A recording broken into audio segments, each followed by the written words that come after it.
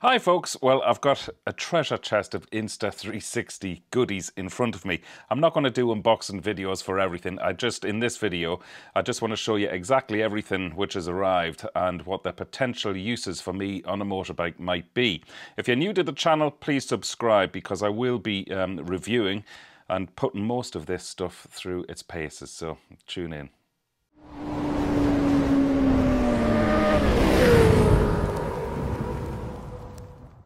Okay, so I might as well start with the jewel in the crown, which is this. It's the Insta360 Go 2. Let's see if we can get the focus on that.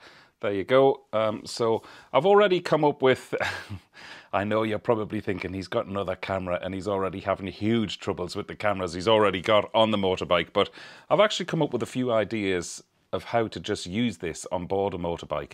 So we'll be putting that through its paces definitely first of all over the next uh, few weeks and then I have one of them which is the uh, motorcycle mount now I also have one of these for the um, the Insta 360 One X2 and it works superbly. It's rock solid. Even when I've got the selfie stick uh, stuck out the front of the motorbike, that little grip locks absolutely rock solid. So great things about that. Now, something which is quite often overlooked uh, when we're using action cameras is the ND filter kit. You can get these for GoPro as well as, well, I can't believe that they're doing ND filters for the Insta Go 2.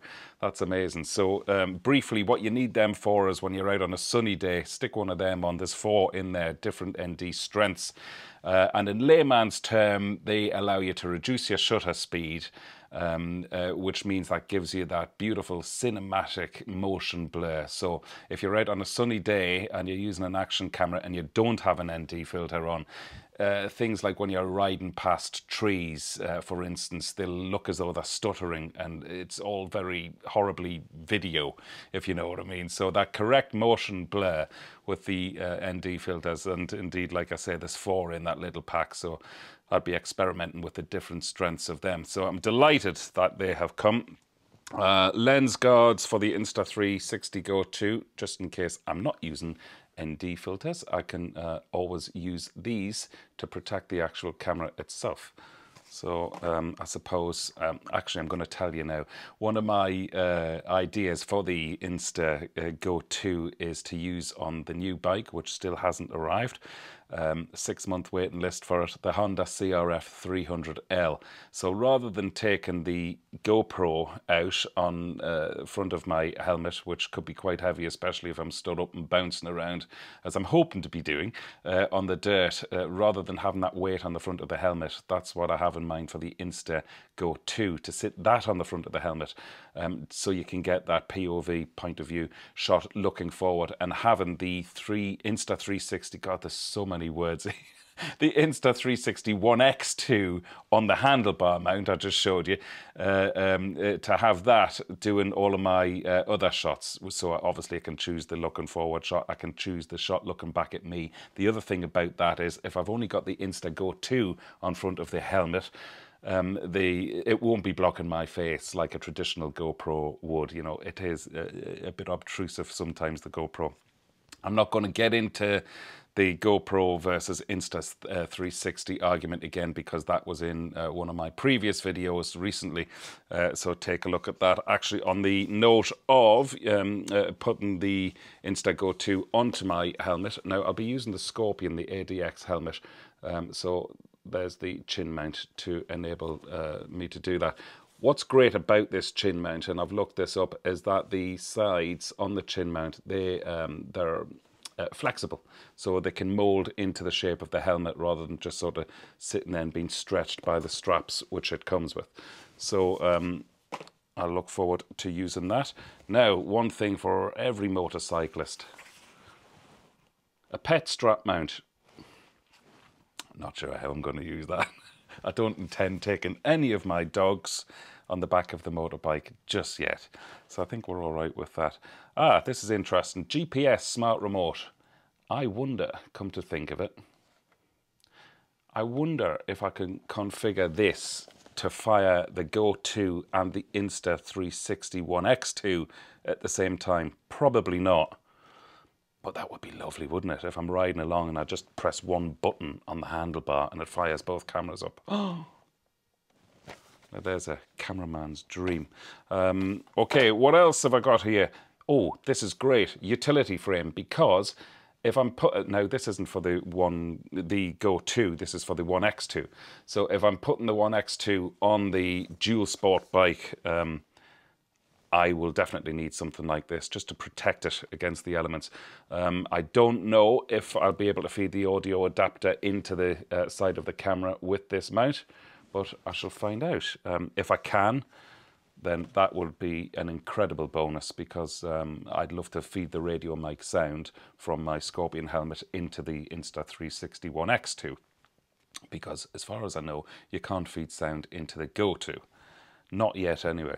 Uh, one thing you can do however, because the Insta Go 2 has a built-in memory uh, and not removable SD cards. Uh, the, the version I've been sent is a 64 gig, so it'll hold a decent amount of footage, even though you can only record in maximum uh, using the Pro mode in 2.5K, so not even 2.7K. Now, um, I can't wait to test the quality of this camera. I've read lots of great things about it, um, and uh, I'm just looking forward to getting grips with that. So, if you want to offload the footage into your phone, you can do with this because this is the uh, quick reader. So you can download the content uh, on board the Go 2 straight into your phone delete the hard drive and then start again.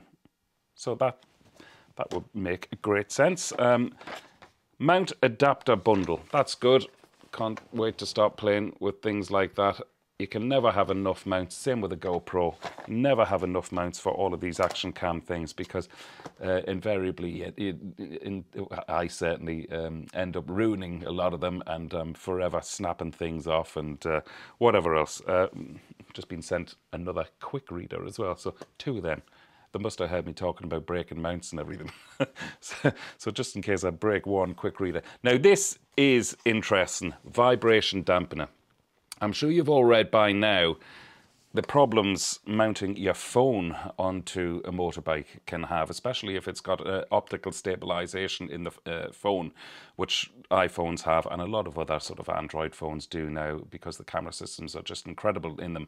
But to get the stabilization, uh, one thing these phones have is something called a floating lens. And it literally is that. So the lens element floats inside. So if you're riding along on a motorbike, uh, the vibration sometimes destroys these phones and you know yourself some of these expensive phones can cost a thousand quid upwards. So vibration dampener here now, I know this isn't designed for the phone, but it's the same thing with action cameras, especially the One X2, and especially if I'm going to be using it um, on a dirt bike. So that, uh, I'll predominantly use the One X2 on that rather than the Go 2, because uh, that's so small. Like I said, uh, I'm pretty much going to mount that on my chin anyway. So very interested to see that Insta have released a product like this very interesting. And then, of course, to carry all of this treasure chest a little carry case, although I suspect I suspect that's just going to um, uh, carry the camera and a few of its uh, immediate uh, accessories. And then, if one um, selfie stick isn't enough, get four. Um, I don't know why I need four selfie sticks. Oh, there's different extensions and uh, carbon extension modes. One thing to bear in mind actually with the Go 2 is that it's not a 360 camera, so you will not be able to get rid of the selfie stick in the Go 2 footage like you can on the One X2 footage because it's only about 180 degree view and that's if you shoot in Pro mode. However, these will be good because I know there's a, a range of sticky mounts there somewhere as well. Uh, um, uh, the, uh, these little things will be good to stick on my helmet or whatever and angle the camera down towards me if I wanted to get a shot of my face. Lots to play with there, lots to experiment with, lots to review, and lots uh, more videos to bring you about all of this stuff. So once again, folks, thanks for tuning in. If you haven't subscribed, please do, because I'm going to have great fun with this little lot.